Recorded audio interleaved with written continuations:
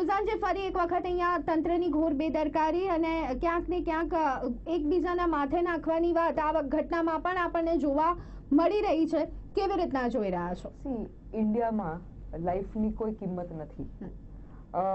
મરતા હોય તો લોકો મરવા દે. આપણે આપણા પૈસા ગણવાના આપણે આપણો ધંધો ગણવાનો. કારણ કે ખબર છે કે આવું થશે તો એ પાછા લોકો આવવાના જ છે. લોકોને બી છે કે ભાઈ આ તો થયું એમાં સુધી ઇન્ડિયા છે હોતા હે ચલતા હે આ મેન્ટાલિટી આપણે આખા ઇન્ડિયામાં વર્ષોથી ચાલી રહ્યું છે. આપણે જે પેલું એક્સિલન્સ માગીએ આપણે જે માગીએ કે at least we have a right to our protection of life એ આપણે કોઈને આપણે ખબર જ નથી, આપણે મહેસૂસ કરતા જ નથી. એટલા માટે થાય છે શું કે આજે જે રીતે બનાવો પર બનાવો બનતા જાય છે આવા આપણે અત્યારે સાહેબે કઈ દસ બનાવવા કહી દીધા છે. બીજા દસ હું બી કહી દઈશ. અમદાવાદમાં બન્યા ગુજરાતમાં બન્યા ઇન્ડિયામાં બન્યા. પણ અનફોર્ચ્યુનેટલી એમાં કોઈ બી શું કહેવાય સિરિયસનેસ નથી લેવાતી. તમને એક એક્ઝામ્પલ આપો કુંભ મેળામાં કુંભ મેળામાં આટલા કરોડો લોકો કરોડો લોકો આયા હતા પણ ત્યાં હાર્ડલી એક નાનો છૂટકો છાટકો કંઈક નાનો બનાવ બન્યો હોય તો બન્યો હોય. બાકી આટલા કરોડો તો નહોતા બન્યા. કારણ કે ગવર્મેન્ટની ઇન્ટેન્ટ હતી. વર્લ્ડ ઓવરની ધ્યાન હતું કોઈ કુંભ મેળામાં કરોડો લોકોનું કઈ રીતનું મેનેજમેન્ટ થાય છે. એટલે એક બનાવ નથી બન્યો કરોડો લોકોમાં.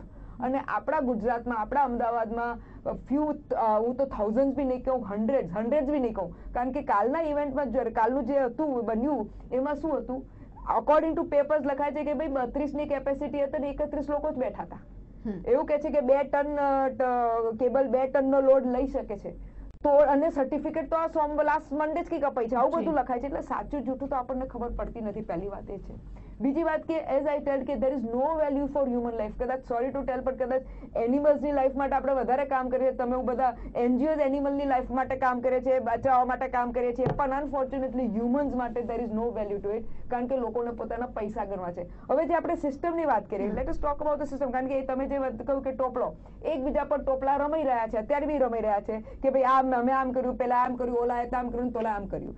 એઝ યુઝ્યુઅલ રમાઈ જશે. આપણને બધાને ખબર છે, વર્ષોથી આપણે એ લોકો રમાડે છે ને આપણે રમી લઈએ છીએ. Unfortunately this is our mentality I કે આવર ઇન્ડિયન સાયકી કે આપણો આપણો જે, આપણો પોતાનો લોસ હશે, આપણે રડ, રડશું, ચાર જગ્યાએ ધક્કા ખાઈશું અને પછી ગમ ખાઈને ચૂપ બેસી જઈશું. અને જે બાજુવાળા હશે, એ આપણને જે સિમ્પથાઇઝ કરશે.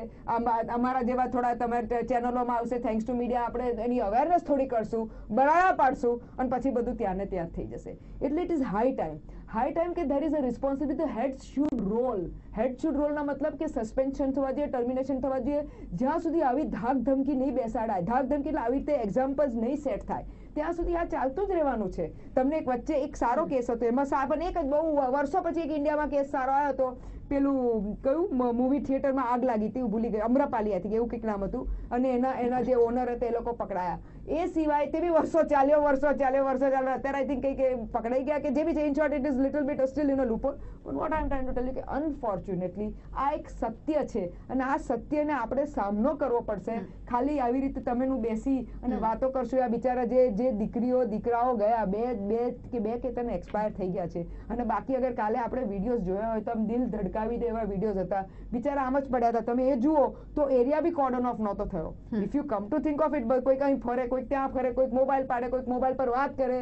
એટલે સિરિયસનેસ તો લોકોના મોઢા પર બી મને તો નહોતી દેખાઈ જેટલા મેં કાલે વીડિયો જોયા હતા. બિચારા લોકો ઘાયલ થઈને પડ્યા હતા બૂમ પાડતા હતા દુખતું હતું. પણ મને એવું કોઈ કોઈ તંત્રવાલા બી લોકો દેખાયા નહીં કોઈ ઇન્ચાર્જ ના દેખાયું. બસ આમ જ ચાલતો હોતા એને ચલતા રહેતું હતું.